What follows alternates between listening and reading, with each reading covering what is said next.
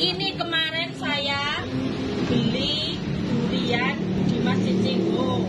Ceritanya habis rekreasi dari Selekta, terus pulang terus ke Pasar Lawang, terus tujuan terakhirnya Masjid Cinggo. Ceritanya Seorang ibu marah-marah di media sosial karena baru kena tipu.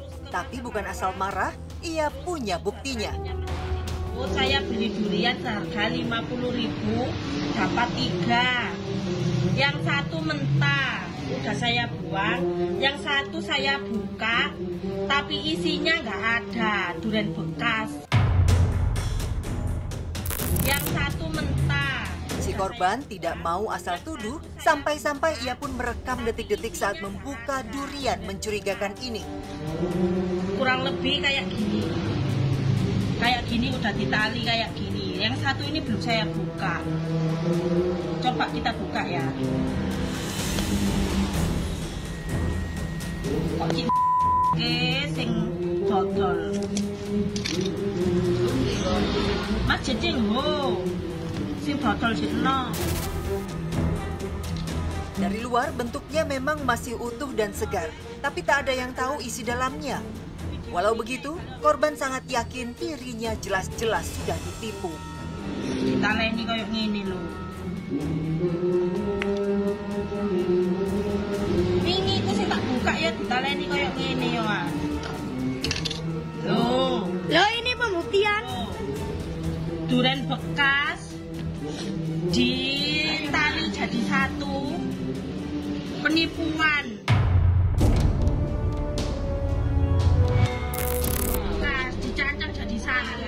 Bukan busuk ataupun mentah, faktanya jauh lebih menyakitkan. Korban diberi cangkang durian bekas yang diikat hingga menyerupai durian utuh. ini tuh penipuan ya masih harganya murah mbak ya masa kulitnya tak dibeli lima puluh ribu dapat tiga yang satu mentah yang dua kondisinya kayak gini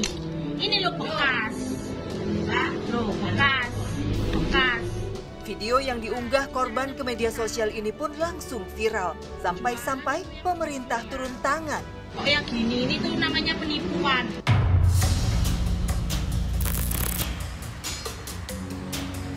Ini dia Pasar Wisata Cengho, Kabupaten Pasuruan, Jawa Timur.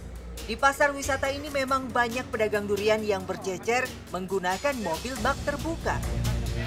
Sudah bisa terbayang akibatnya, pendapatan pedagang langsung turun drastis karena video viral yang beredar. Ujung-ujungnya, pedagang yang jujurlah yang kena imbasnya. Ya dirugikan pak, soalnya kan imbasnya kena teman-teman semua. Itu sering memang jualan sini mas. Gimana? Sering jualan orang situ oknumnya ini. Oh, Sekarang pak cuma dari sepeda-sepeda itu loh pak. Oh. Yang sering masuk biasanya yang sepeda-sepeda. Ya biasanya.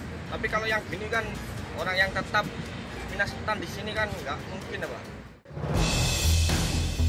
Penasaran siapa pedagang yang tega menjual cangkang durian ke wisatawan?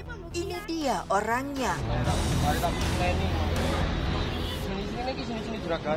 Ya, Ki Bulura, Pak Wiji sudah ketemu yang bikin viral di Pasuruan jadi elek sak jagat gara-gara durian kosong di Cingho.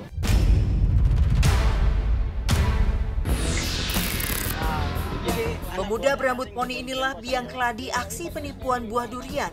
Bukannya malu dan menyesal, ia malah mencoba mengelak. Iki anak buah sampean sing dodol durian kosong ya. Oke, tapi mari tak sini nih pak. Nggak- Apa karepe sama dodol durian kosong, kulit kosong iku? Enggak dulu pak. Mau tak makanya dulu. Ojo muni moro tak taleni ngono. Ini kan aku. Anggur ngene, lek sampean salah ngaku salah nggak njaluk sepuro. Eh? Pelaku tak sadar gara-gara ulahnya seluruh pedagang durian ikutan jadi korban. Setelah ketahuan, pengelola tempat wisata ini pun mengambil langkah tegas. Si pelaku tak boleh lagi berjualan di sekitar Cengho.